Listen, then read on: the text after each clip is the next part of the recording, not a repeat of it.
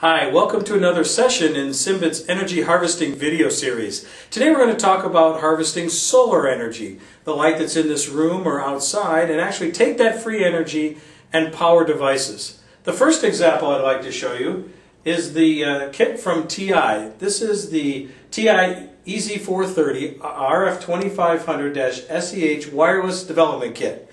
Now, truly, that's the longest name of a development kit in the market, I think, today. But it's a really cool device, and let me walk you through it a little bit. Over here, we have a solar panel, and it's designed, obviously, to collect the light uh, in, in this room. It's designed, actually, to work down to 200 lux, so it works in very low light conditions. The energy, then, is collected and stored on this Cymbet energy harvesting module. This is the CBC 5300 module, and it contains two Enerchip thin film batteries that stores the energy from the solar panel. And then also on this is the electronics and power management to drive this Texas Instruments wireless sensor. On here we have an MSP 430, one with a CC2500 radio, and it runs the essentially the Zigbee protocol on 802.15.4, but we're actually using SimpliciTI protocol from TI because it's got a, a smaller information footprint, it's lower power. Because one of the things when you're designing these kinds of systems is you have to understand how to optimize the, the power usage throughout the entire system. So this development kit is available today from DigiKey, Mouser, and on the TIE store, and it also comes with all the firmware and software you need to run it. And, and that's open source. You can actually uh, use that and get examples on how to develop a kit like this. So it's really an exciting turnkey autonomous wireless sensor development kit. Now we've taken that same technology and put it in this example as a, a solar energy harvesting wall plate. Here we see the solar cell again. And on the back, we've got the electronics that we had before.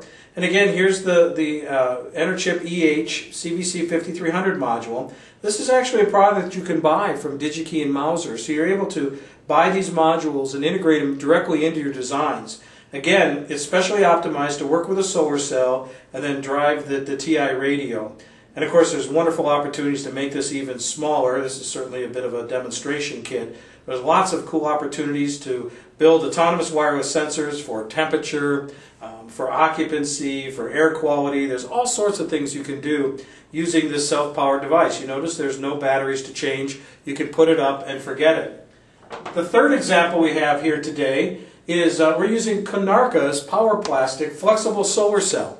And we wrap that around a cylinder and it's then connected again to the Cymbet Energy Harvesting Module. The CBC 5300 is connected to the Konarka, and it's also connected over here to the TI radio. So we've been able to create another autonomous wireless sensor uh, using, in this case, flexible solar cell. So you can imagine lots of neat applications for various ways you can wrap that solar material around an object and harvest the energy. Now, of course, as you have all these sensors in a network, you'll want to track them. And part of the TI demo kit is this graphical user interface software. Over here, we have the main access point node. It's a USB key that talks to the other devices. And here you see we have the three solar energy harvesters reporting back.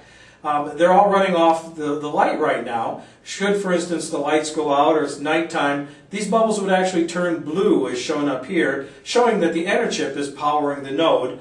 Then, of course, when the light comes back on, you have an opportunity to not only charge the batteries, but run the unit. So you can cycle this many thousands of times. So it's a very exciting way to use essentially free energy to power these wireless devices. If you go to Cymbet.com, you'd be able to download a white paper on Zero Power's wireless sensors. It talks about a lot of these concepts in greater detail. It also describes how you can use other transducer types such as thermal or piezo or RF electromagnetic to be able to run these autonomous wireless sensors. Of course, the key enabler here is the energy harvesting and storage capabilities that Cymbet brings to you. So we look forward to talking more about your projects. Please give us a call, stop by our site as we update it often, and we look forward to talking to you soon. Thanks.